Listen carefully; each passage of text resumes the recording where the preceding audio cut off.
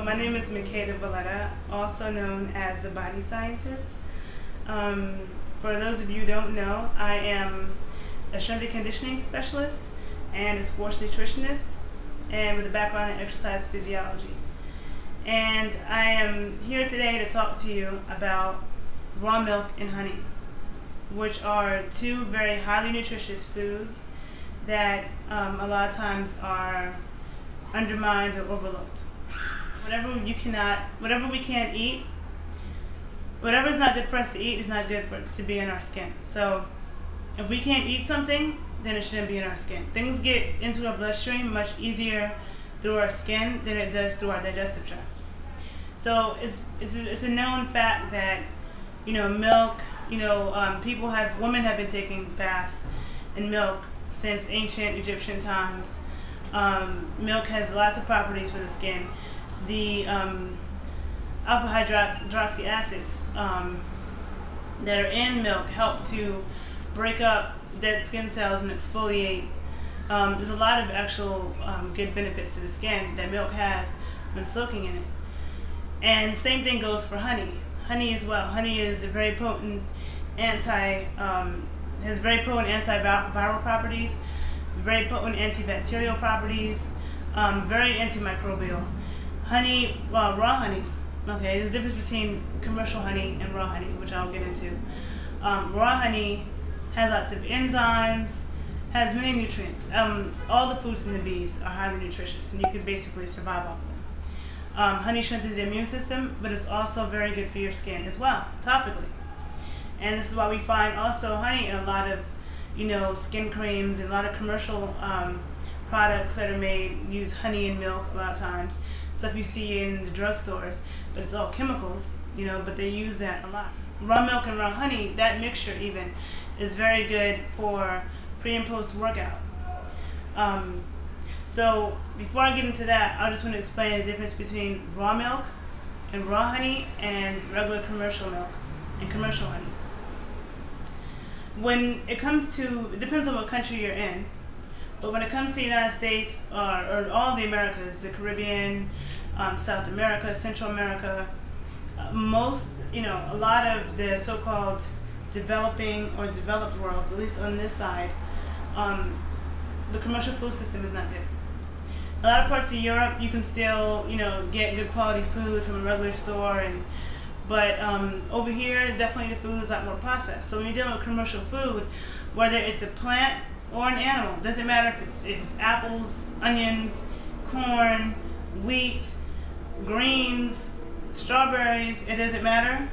Um, a lot of those plants are planted or grown in soil that's overworked. The soil in the United States in big, large commercial farms, the soil is completely overworked. It's depleted of nutrients. A lot of the food um, that we consume, like on the East Coast, comes from the West Coast, or it comes from South America or the Caribbean. Stuff is traveling a far distance. A lot of the food in the Caribbean is coming from the mainland United States. So people are not consuming local foods. Stuff is old. Okay, um, so mass production of food, whether it's plants or animals, is not good. Raw means it's in its raw, unre um, unrefined form. Okay, so there's a lot of frozen yogurt places opening now that are all zero fat. Like all these places, every city I go to, new frozen yogurt spot, zero percent fat. Zero percent fat. That's now that's a processed food. There's fat in the milk for a reason. Protein and fat work together, and is there for a reason. That's the whole food. Okay, so you start skimming out the fat, adding more sugar. But raw milk is a very high nutritious food. Um, there's a lot of controversy about milk there are a lot of people who will say, well, you know, milk is only for baby cows or baby sheep. Um, some people say we can't digest milk. However, I will say that there are civilizations um, all throughout the planet, like specifically in the desert. So a lot of the desert people in Africa, in India, um, did consume dairy, large amounts of it, and were very strong and healthy, and produced healthy, perfect children generation after generation. Um, the Maasai, six months before the woman um, wanted to conceive, they would go on a diet mostly of raw milk. Okay, you have very high quality protein. So in the whole bodybuilding fitness world, whenever people go to a gym or any kind of you know fitness bodybuilding protein shake, they always use whey protein. Whey protein naturally occurs in milk, and it's known. And the way it's known is by looking at scientific studies where they use markers, where they're looking at how quickly the muscles uptake certain proteins. And in those studies, you find that whey protein, with its branched chain amino acids, um, which are only common in animal foods, the, branched chain amino acids, I mean, that are, um, it makes it the best protein for muscle recovery. So when you are working out really hard and your muscles break down, it needs to build back up. So whey protein is, is the, one of the best proteins for that. Then there's the protein in the egg yolk, okay? Egg yolk also has a very, very, very high um, quality of protein. And when I talk about quality, I'm talking about how easily our body and our muscles uptake that protein. Okay, the bioavailability. So you see in the stores, you see muscle milk, this new commercial brand it's supposed to be for um, working out, but it's all like whey protein isolate and all this isolated, chopped up chemical crap. It's not good. There's so many problems with muscle milk, but that's a discussion for another day. Raw milk in its raw form is, it has not been pasteurized or homogenized. When they pasteurize and homogenize it, the heat kills the good bacteria. Like there's good bacteria in raw milk that helps with our digestive system and helps our immune system. It helps us digest the milk even, you know. Then you have homogenization, which is a process that the commercial food industry uses to extend the shelf life of the milk, where they heat the milk at such a high temperature that, like, let's say when you have uh, raw milk, you have the cream on top and then you have the milk. So the fat globules, you know, of the, the milk, let's say they were like this big before. Let's say the fat globules are this big. And our cells have cell walls. So the opening, cell walls have openings. So let's say the opening of a cell wall is like this, narrow, right? It's the opening. But the fat globule is this big, it can't get in to the cell because it's too big. When they homogenize it, they heat it at such a high temperature that it makes the fat globule explode into all these little pieces. And then um, now, so which makes it one homogeneous liquid, this homogenization where it's not separated anymore. And now the fat cells can easily go into your blood cells. I mean, I'm sorry, into your cells of your body where they, they shouldn't have been, they're not supposed to be, you know. So homogenized milk has shown to cause serious problems in everyone. It's not good for anyone. There's studies that show that when cats consumed homogenized milk, by the third generation, they were all infertile. So it's not good. But raw milk is something different. Okay, so when you're getting raw milk, especially from grass-fed cows or sheep or goats, um, camel's milk, it can be any of those. Um, it has very high quality fats in it. The CLA and MCT fats, conjugated linoleic acid, and medium chain triglycerides. Medium chain triglycerides are saturated fats, but they're medium chain. They're not long chain saturated fats, which are most of the fats in animal foods are long chain saturated fats. And we do need that, we just need it in a certain ratio. The medium chain triglycerides, which are shorter fats, they are digested much quicker. They help to boost our energy, help to boost our immune system, they help us to burn fat. So the MC, there, you know, and there are fats that help you to burn fat. So MCTs and CLA fats. If you look at any commercial fat burning supplement in GNC or whatever, they always have MCT and CLA fats. Always. Okay. So those are fats that help you burn fat, and those are found in animal. The animal foods of healthy animals It's found in eggs and raw dairy and meat of animals that were grass fed and ate with not grain fed, not eating wheat and corn. You know, they're eating the grass and stuff, their natural diet. Um, after a workout, when you work out really intensely, especially when you're doing like strength training workout, um, you need fast absorbing protein and fast absorbing carbohydrates. And if you have about 30 minute time frame before and after your workout, um, because our, our muscles use glucose as a source of fuel to fuel our, our physical activity. So first, our body uses our blood glucose, which is the glucose free floating in our blood.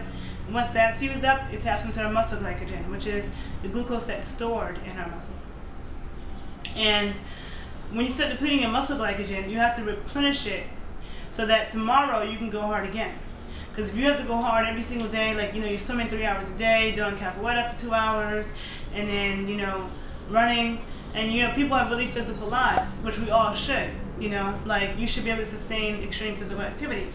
So you work out really hard and you you expend, you expend. You have to put those fuels back.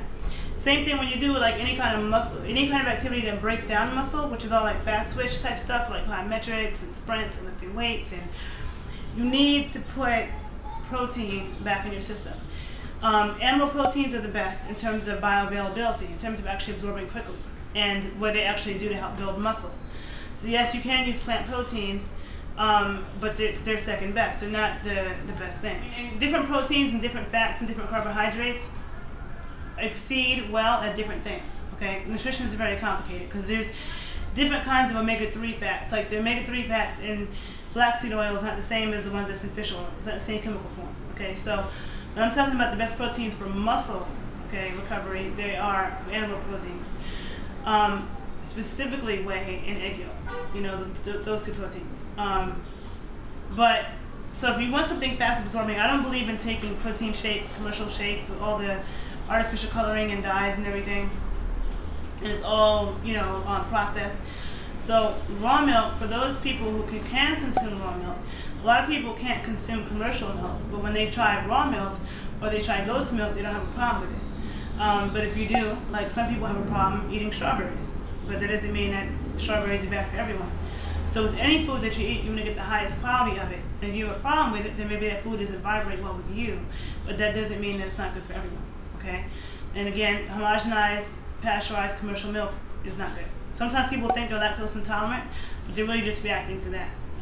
So if you have yogurt or raw milk, which has the bacteria, which helps you to digest, it breaks down the proteins very quickly. In yogurt, the proteins are already pre-digested, so absorbs very quickly. Our muscles can uptake it very quickly. And then you have carbohydrates, which you need as well. And honey raw honey is great because it's a great source of carbohydrates, um, and they, they go it goes with with milk, and even in the Bible you have a land of milk and honey, so there's so much to say about milk and honey, um, but they're both in a combination are excellent for your skin, um, and they both in combination are excellent drinks for energy because the enzymes and everything that's in raw honey, and you know not not commercial honey not the honey that you get from Pathmark or, you know, I don't know, the regular supermarket. It's just a regular refined honey. Honey that has not been heated at a high temperature and is still raw, still has its enzymes in it, and it can be um, digested very easily and does a lot to boost um, energy. Okay, and this is a good carbohydrate. We do need carbohydrates, okay, but you need the right kinds. So as opposed to eating like pasta, like a lot of marathon runners will eat all this pasta, which is a whole bunch of wheat. That's that is not your best source of carbohydrate, okay? Because wheat causes a whole bunch of other problems. Um, so this is the beginning of talking about milk and honey, honey and milk, milk and honey, honey and milk. Um, there will be a part two where I get more into all the different uses and ancient uses of milk and honey, which that also includes being used as natural spermicides and things to help increase and decrease fertility. Um, that will be in part two. So this is this for now. My name is Makeda Voletta, and you can find me on Facebook, and you can find me on Twitter at Queen underscore Makeda, M A K E D A. And um, that's it for now. Thank you. Bye.